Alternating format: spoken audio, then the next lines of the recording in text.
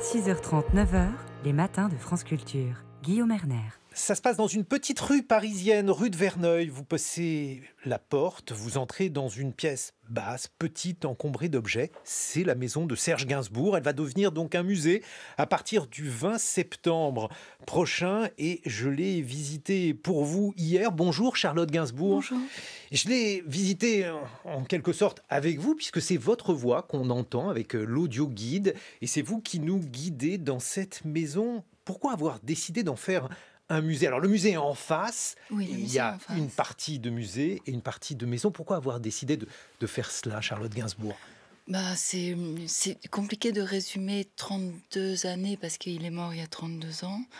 Euh, et j'ai tout de suite eu envie de, de figer en fait la, la maison telle qu'elle était, avec tous les objets euh, tels quels, en fait, le, le plus possible. Donc, bien sûr, du temps est passé, il s'est, des petites choses ont bougé, mais pas tant que ça, en fait. Donc on retrouve cette maison intacte. C'est extrêmement émouvant de visiter euh, ce lieu avec euh, votre voix et avec vos explications. On va entendre Serge Gainsbourg présenter sa maison. C'était en 1979. Bon, voilà, alors ici c'est chez moi. Je sais pas ce que c'est, un sitting room, un- une salle de musique, un bordel, une- un musée. Ah, il y a des pianos.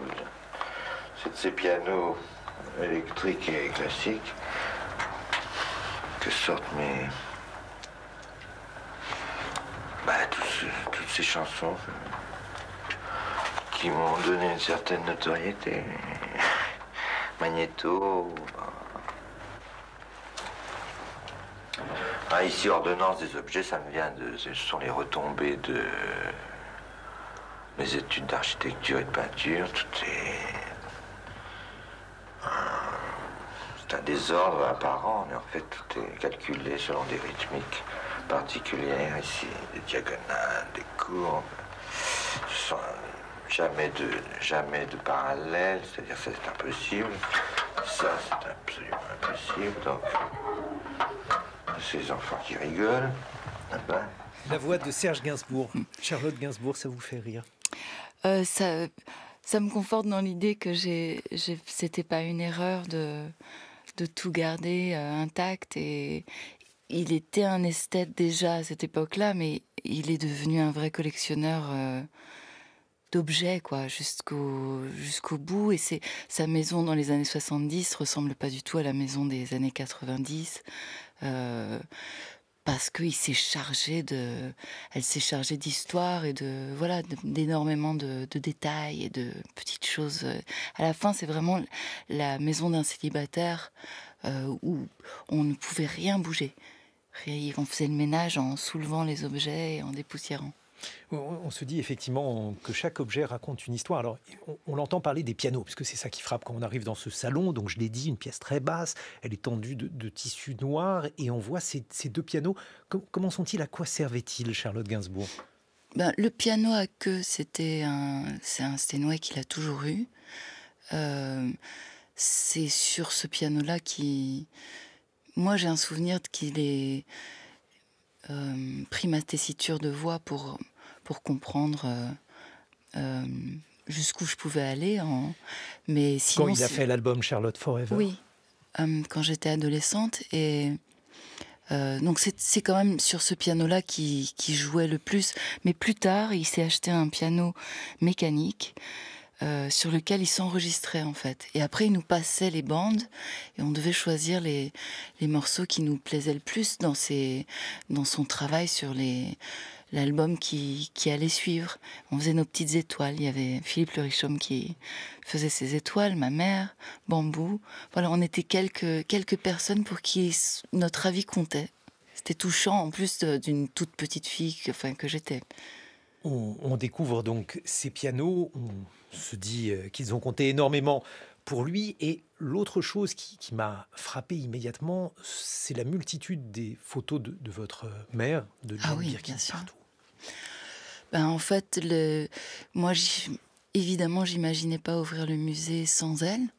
euh, sans qu'elle me l'ait validé même parce que on est on a été tellement en retard et on ouvre euh, vraiment en bout de course comme ça mais en fait, je suis pas sûre qu'elle voulait y aller qu'elle voulait voir réellement le côté musée. Je, ne suis pas sûre, mais c'était, c'est comme si elle,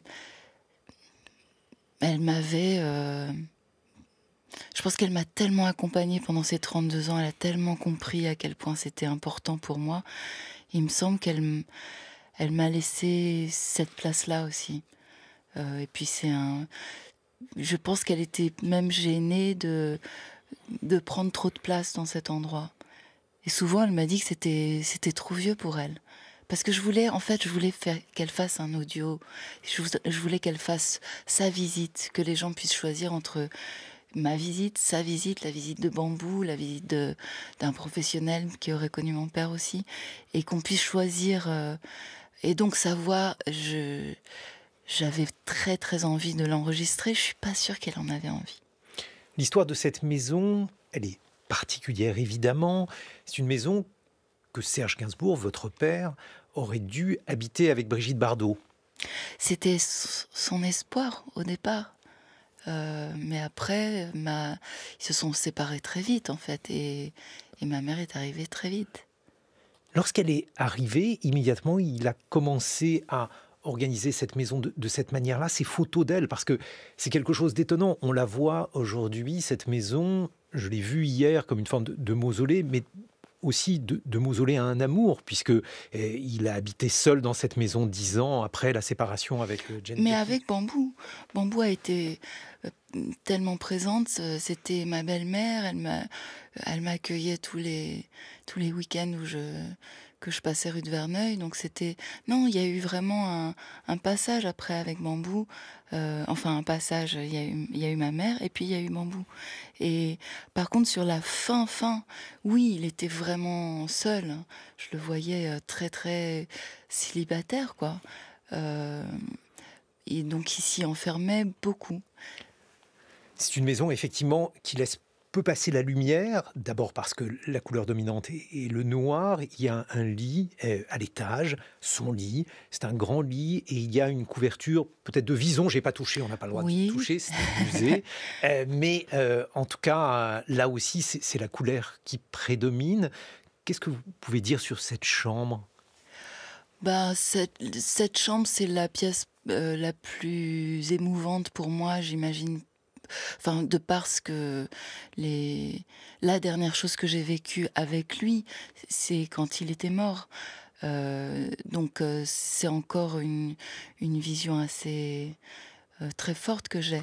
Mais en même temps, sa maison était, bien sûr, elle était noire, les murs sont noirs, mais quand il était présent, les, les, ben, les volets étaient ouverts. Il y avait quelque chose quand même de très. Puis la, lumière était euh, très importante, donc le côté esthète euh, qu'il avait, oui, ça a articulé toute la lumière de la rue de Verneuil. Mais en haut, par exemple, j'ai été obligée pour la conservation de, de la maison, parce qu'en 32 ans, en fait, je l'ai très bien conservée, parce que personne n'y entrait. Alors, il y a, l'odeur, j'ai essayé de respirer, voir si on, sentait les gitanes. Ben, c'est la seule chose qui, pour laquelle je serais triste, mais c'est comme ça. Euh, c'est je pense qu'au fur et à mesure, l'odeur va partir. Elle est déjà un peu partie, mais il reste quelque chose.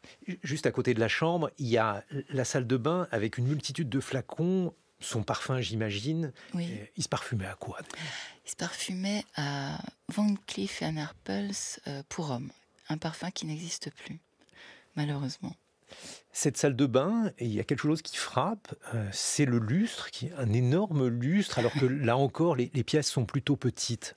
Oui, alors c'est vrai que euh, les années, c'était une salle de bain qui, qui était notre salle de bain, même si on avait une chambre d'enfant très plutôt à l'écart, mais euh, c'était notre salle de bain. Le lustre n'était pas là à, cette époque-là, quand j'étais petite avec ma mère et Kate.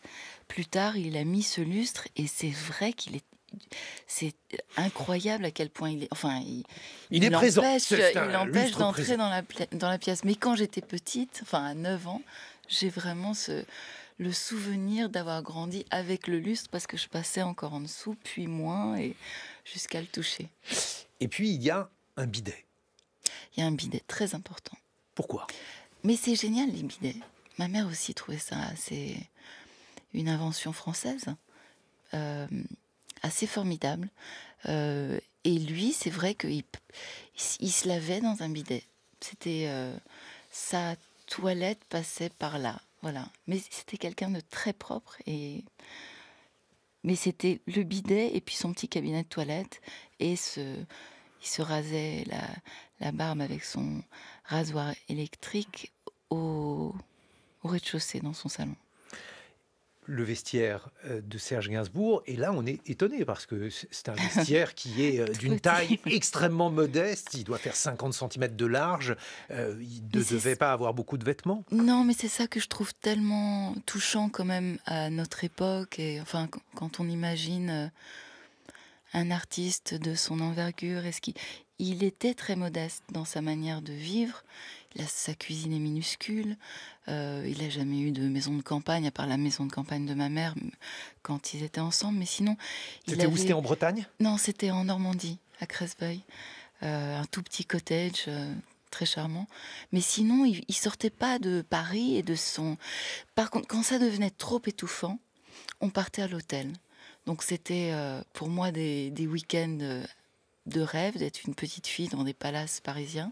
Et il avait besoin de respirer quand même, parce que c'est un lieu chargé. C'était un père assez exigeant. Très exigeant, très, très enfantin aussi. Euh, voilà, plein de, plein de qualités, parce que l'exigence et le, le côté sévère, il n'était pas sévère, il, était, il avait des principes. Il voulait pas que vous soyez blasé. Ah non, jamais blasé. Mais il m'a pas forcé à ça, c'est juste en le voyant lui comme un enfant justement dans ses palaces, dans, euh, avec un succès tardif. Donc euh, il pouvait pas être blasé du succès. Ça, il faut l'expliquer aux plus jeunes qui nous écoutent. Gainsbourg n'a pas toujours été célèbre. Non, et ça a mis dans la partie musée de de ce lieu qu'on ouvre. Donc il y a cette maison que j'espère, enfin c'est une visite quand même très intime et, et euh, j'essaye d'expliquer un maximum de choses, de ma vision d'enfant, beaucoup. Mais en face, il y a le musée où on apprend tout euh, sur la vie de mon père, de sa naissance à sa mort. Et comme ça, dans l'ordre chronologique, on comprend vraiment que le succès est arrivé il avait 50 ans en fait quand euh, vraiment il a explosé que c'était il était tellement étonné de, plaire aux jeunes aussi, parce que c'était ça, il s'est réinventé sans arrêt. Mais quand il a fait ses plus beaux albums, Mélodie Nelson ou L'homme à la tête de chou, c'était des flops, c'était des échecs publics. Donc on en parle aujourd'hui comme de chef-d'œuvre, mais sur le moment, ça, ça a dû être une déception terrible. À chaque fois, il avait du succès quand il écrivait pour les autres, notamment pour ma mère. Mais sinon, voilà, pour lui, non. Et puis il est devenu euh, célèbre. En fait, il, est devenu euh, célèbre dans les années 80. Qu'est-ce que ça a changé dans, sa manière de, se comporter, dans sa façon d'envisager les choses, Charlotte Gainsbourg? Je pense qu'il est devenu le personnage public qu'on connaît bien euh, de télé plus tard avec un côté plus son personnage qui commence à s'exprimer de Gainsbourg où il est voilà, son côté excessif euh, entre en scène. On, va l'écouter justement euh, s'exprimer sur euh, son personnage. Vous trouvez amusant les, gars qui sont contents d'eux-mêmes et qui disent Oh, ça marche très bien pour moi, alors j'ai tel projet, alors je vais faire un film, et puis après je vais, je vais faire ma tournée au Canada, puis ça bourre, et puis je, vais, je vais m'embêter mes musiciens, puis j'ai vendu tant de millions de disques. Vous trouvez ça drôle? Moi, je trouve plus drôle mon attitude, qui, est beaucoup plus de, qui a beaucoup plus de rigueur et de pudeur. Et, mon agressivité cache ma timidité. J'étais toujours un garçon très timide. Si je suis agressif, c'est justement parce que dans ce métier, il faut, il faut des interviews, bien sûr, mais c'est à l'encontre de ma, de ma personnalité. Vous voyez, vous l'avez dit. Qu'est-ce que j'ai dit encore La voix de Serge Gainsbourg, c'était en 1973. Charlotte Gainsbourg, c'est une famille de, timides. Vous êtes timide, lui. Oui. Oui, oui, timide depuis très longtemps, mais, mais beaucoup moins et je, et je m'en accommode euh, plutôt bien aujourd'hui. J'ai, ça me paralyse pas comme au départ, mais on a une différente forme de, de timidité lui et moi. Je pense qu'il était justement, il a combattu sa timidité avec beaucoup de, l'agressivité. Moi, je l'ai jamais trouvé agressif. J'ai toujours, euh, il s'est amusé de provocation et de, et oui, de tenter de choquer les gens. euh, c'est quand même, euh, il, il faisait ça très bien. Et moi, j'ai fait ça par le, par, grâce à lui. Et puis, j'ai essayé de continuer avec des films parce que ça m'amusait bien. Et c'est vrai que, mais j'ai souvent rencontré des acteurs timides. Ça va, ça va, c'est un peu logique, je trouve. Et alors, votre mère, je, je ne sais pas si on peut dire qu'elle était timide, mais Ah non, elle manquait étonnamment de, de confiance en elle. Ah oui, ça oui. Mais pas timide. Ma mère était pas timide, elle était. euh, euh, et puis elle est. Non, non, c'est- pas la même chose. Mais Elle manquait de confiance en elle. oui, C'était très étonnant, y compris dans ses mémoires. euh, depuis toujours. Depuis toujours, elle a, elle a toujours. euh, Après ça, sur sa, sur sa voix, ça... en fait, quand je j'ai eu la chance de faire un petit documentaire sur elle et de, de lui poser des questions, j'ai vraiment compris que sur scène, euh, elle était à l'aise. Elle avait le trac évidemment, mais elle était à l'aise. Elle, euh, elle savait ce qu'elle ce qu'elle faisait. Elle avait sa voix. Elle avait, euh, elle maîtrisait ça quand même vers la fin. Mais sinon, un, un trac par contre euh, maladif. En tout cas, c'était une manière, euh, donc, effectivement, d'être artiste pour elle, pour lui. La provocation pour Serge Gainsbourg, lorsqu'on entre dans cette maison, maison qu'on va pouvoir visiter à partir du 20 septembre, Charlotte Gainsbourg, il y a aussi euh, cette une de journal euh, contemporaine de l'affaire Dreyfus, à bas les Juifs. Et- Oui. Est-il marqué? Là aussi, c'est quelque chose qui étonne parce que euh, il, il avait au quotidien cette une antisémite, lui qui avait bien sûr souffert Subi de la guerre, l'antisémitisme. Pourquoi? Oh, je pense qu'il était. C'est mon oncle en fait qui était tombé sur euh, dans un manoir euh, abandonné euh, des des piles et des piles de un collectionneur de la Libre Parole, qui était un journal antisémite de l'époque et enfin de l'époque de la guerre. Et donc il a offert ce ce, numéro avec écrit à bas les juifs. En fait, mon père a subi un antisémitisme jusqu'à sa mort, en fait, parce qu'il y avait tout le temps des tags antisémites sur, euh, sur la façade. Alors, il les effaçait. Il effaçait tout ce qui était euh, négatif, méchant. euh, il, il gardait que les bons.